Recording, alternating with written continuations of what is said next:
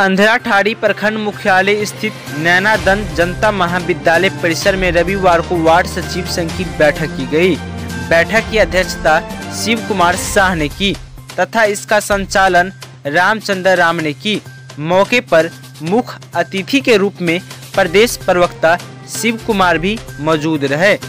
इस बैठक में उन लोगों ने बिहार सरकार पटना से तीन सूत्री मांग की है, जिसमें प्रत्येक वार्ड सचिव को सरकारीकरण करने, मानदेय भुगतान करने व वर्तमान से भविष्य समय में सेवा जारी रखने, पूर्व समय में जो वार्ड सचिव अपना सेवा प्रदान कर चुके हैं, उसका मानदेय भुगतान किया जाए।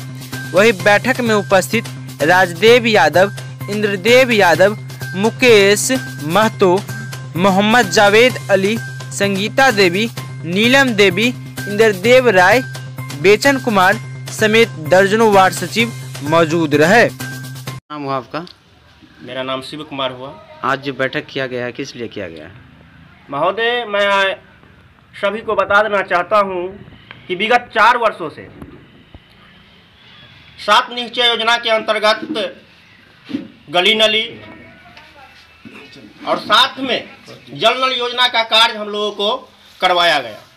लेकिन आज तक सरकार ने हम लोगों को कुछ भरण पोषण के लिए कुछ नहीं मिला। मैं सरकार से अभी भी माननीय नीतीश कुमार जी से आग्रह करता हूँ, निवेदन करता हूँ और मैं उनको पैर पकड़ता हूँ कि जो स्थिति आज वार्ड सचिव के साथ है वह किसी अन्य के साथ नहीं है।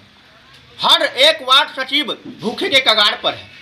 लेकिन माननीय नीतीश कुमार जी इस बात पर सोच नहीं रहे हैं। यदि नहीं सोचेंगे तो हम लोगों को मजबूरी है कि अनशन करेंगे भूखे हड़ताल करेंगे जब तक हम लोगों की मांग नहीं मानेंगे। कई सूत्री मांग है। हम लोग मात्र तीन मांग है।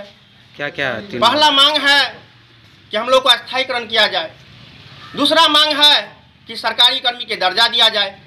और तीसरा तो आप लोग खुद जानते हैं। यदि दोनों चीज़ मिल गया तो तीसरा मिलना है